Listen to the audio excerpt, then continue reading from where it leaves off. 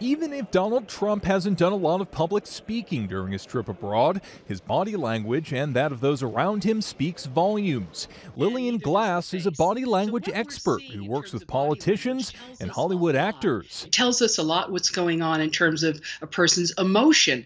And with Donald Trump, we certainly see everything that's going on emotionally. Throughout the trip from Saudi Arabia to Israel, the Vatican to Brussels and Italy, there were many routine and friendly interactions between Donald Trump and world leaders, but there was no mistaking the cool reception of NATO leaders who stood stone faced Thursday as Trump lectured U.S. allies about the need to spend more money on defense. That NATO members must finally contribute their fair share and meet their financial obligations. Trump's strongman approach to politics has always played out in his body language. At the NATO group photo on Thursday, Trump's move to get to the front of the pack caused double takes. The president pushes himself past Montenegro's prime minister. The incident made headlines in Montenegro, but the country's leader called it a quote, harmless situation. Uh, he was smiling, but you could tell it was a tense smile. It was kind of an angry smile.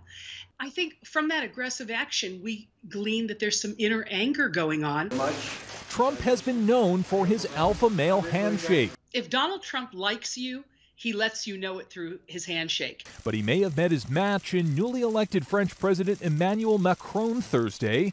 Macron gripping so tightly that Trump struggled to pull away. You have two strong leaders, and they were showing their physical strength to one another through their handshake. Uh, it wasn't a white knuckle situation, it was described in the press. It was really a mutual strength. A different kind of hand clasping, or lack thereof, played out twice upon arrival in Rome and then again on the tarmac following Trump's welcome ceremony in Israel. The First Lady appears to swipe away Trump's hand on the runway. So you really see Melania's discomfort. She's stiff, she's awkward, she oftentimes lags behind, she walks in back, and she's not very comfortable in that public eye. On the other hand, there was no questioning Trump's friendly mojo with Israeli Prime Minister Benjamin Netanyahu.